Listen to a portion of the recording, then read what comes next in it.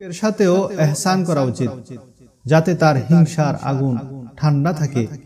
যতই তার সাথে এই ধরনের আচরণ জারি রাখা যাবে তার আগুনের ফুলকি দূর পর্যন্ত ছড়াবে না? হজরত জাহেজ রহমতুল্লাহ আলাই বলেন যদি আপনি বুঝতে পারেন যে আপনার বন্ধু বা আপনার কোনো নিকটের লোক বা আপনার কোনো আশেপাশের লোক আপনাকে হিংসা করছে তার সবচেয়ে সহজ চিকিৎসা হলো তার সাথে বেশি মেলামেশা বন্ধ করা এটা খুবই কার্যকরী চিকিৎসা। আর নিজের কোনো গোপন বিষয় তার কাছে প্রকাশ করা থেকে নিজেকে নিজে বিরত রাখা। ফলে আপনি তার ক্ষতি থেকে মাহফুজ থাকতে পারবেন। তেমনি ভাবে যেসব ব্যাপারে সে আপনার ক্ষতি করতে পারে তা থেকেও নিজেকে বিরত রাখুন। কোন কোনো বিষয়ে তার সাথে পরামর্শ করাও উচিত নয়।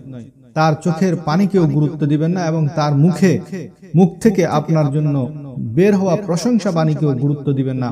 কারণ এই প্রশংসা এবং কান্না কান্না হলো তার কপটতার। ওই রশি যা দ্বারা সে আপনাকে স্বীকার করতে চায়। রসুল সাল্লাহ আলাইসাল্লাম ফরমাইছেন যেভাবে হিংসা করা জায়েজ নাই এবং পিছনে দুর্নাম তথা গিবত করাও জায়েজ নাই। একে অপরের সাথে ভাই ভাই হয়ে থাকা সব মুসলমানের জন্য অত্যন্ত জরুরি